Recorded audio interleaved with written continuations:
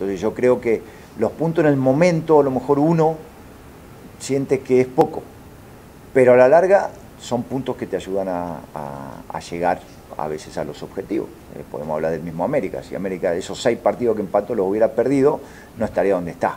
Entonces yo creo que siempre eh, sumar es bueno, siempre es mejor sumar de tres, pero si no puedes ganar, trata de no perder.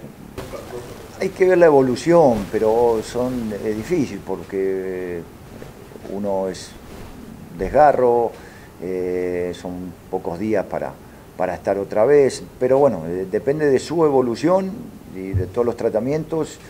Eh, no se puede tener tampoco un jugador en cancha que esté al 50% porque hay mucha, es mucha ventaja y aparte es mucho riesgo. Entonces ya veremos con el correr de los días cómo, cómo van.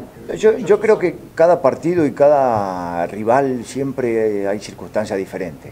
Puede ser San Luis el, otro día con, con Tijuana el primer tiempo lo podrían haber ido ganando y, no, no hicieron ningún gol y lo terminaron perdiendo.